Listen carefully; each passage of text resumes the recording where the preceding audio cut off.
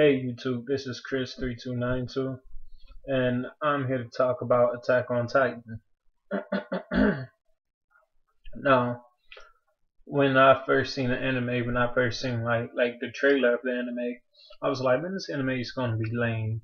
But however, I did think that it had good graphics, and like when I seen it, I was like, um, like it, it did make me kind of curious, like to check it out. Like when I seen the preview and all. So when I seen like the first episode, I went to watch cartoons online and watched the first episode, and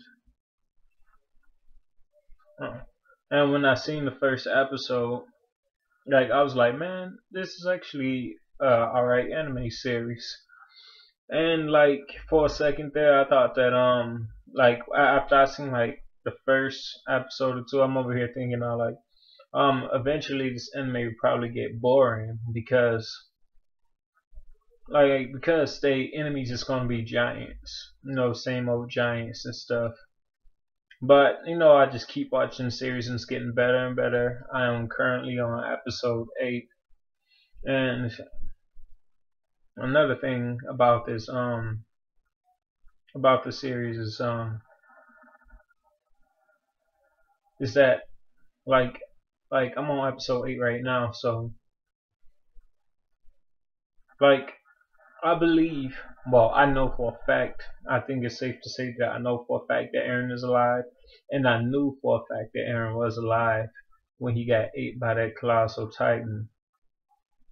And and like when Eren, because like you remember he was like, I'm not gonna allow myself to go out like this. So when um so when he got ate by that colossal titan, I mean when he got ate by that titan, um, like I was like he he he he somehow survived.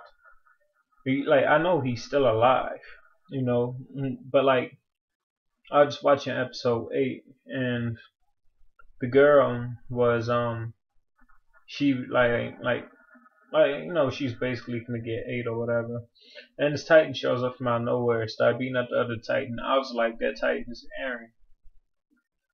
And then a little later in the episode, you know, a little later in the episode, they give off like pretty obvious hints that the Titan is Eren. And so like before the before the Titan, you know what I'm saying, like even showed up, like from the second that I seen him get swallowed by that titan, I knew that I, I knew that Eren was still alive. Because Eren's like the main guy. They wouldn't just kill him off that fast. And another thing about the series is um, when it comes to the colossal titans, like you remember they fell from sky in a fireball, right? Um, I believe the colossal titans were summoned, and also um, I believe that is people that is in high positions like the kings or whatever that is in the series. I believe that they I, believe that they got some kind of agenda going on and I think that they summoned the colossal titans. And another thing and, and, and another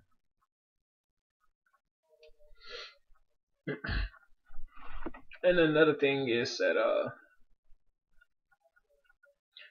like I believe that like all the high rank military people knows who these people are. Because if you ever look at it, have you ever noticed that people that is in the high positions of of um military government I mean you, you know like uh, of of the military in that series, they all got black around their eyes. Have you noticed that?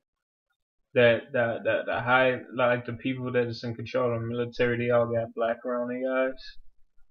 I believe that the kings of the um like the leaders or secret societies has summoned up these titans. I believe that they got a connection with the colossal titan or summoning the colossal titan.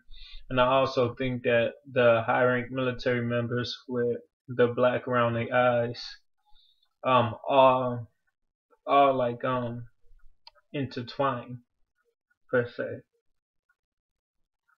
So I think that that's interesting and that should be looked into. Um, but do I think the series is gonna go from now, mm-hmm. from here, is that what I think the series is gonna go from here is I believe that they're gonna find some corrupt power in their government that summon the colossal titans.